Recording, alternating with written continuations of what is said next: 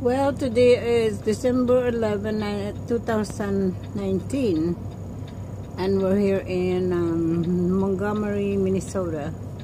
And we pick up load right here, call it Seneca, Seneca, Seneca. You can see the build. There's the building. It says Seneca on it. Warehouse, warehouse or company or whatever. It's a General Mills load that we're going to deliver toward Tennessee. What, Lebanon, Tennessee?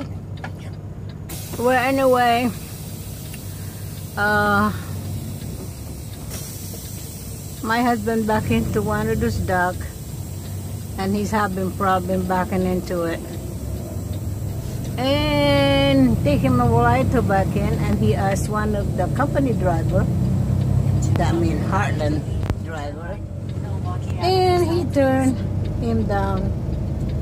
So he continued back into the dock even though he's having problem with it. And finally, the guy who worked for Seneca offered to help him. He even back in the truck. This way. That's the road, but anyway, he even helped him guide the truck and back into the dock right there. We're safe by now. That's the dock we're into. And then finally got into it. But it takes my husband almost an hour and a half just to get into it. But the company driver, Heartland driver, turned him down when I asked for help. Isn't that a shame? Your own company driver asks you for help and turn you down. Instead, other company help him instead.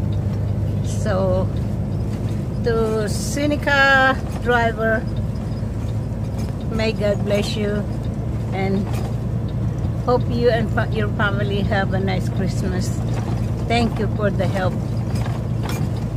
And thanks for watching everybody. You guys have a nice Christmas. Sorry about this. It's too bumpy. And it's still snowy over here. Oh, it's not snowy, but the road is kind of still very cold. Okay, I gotta go now. Bye.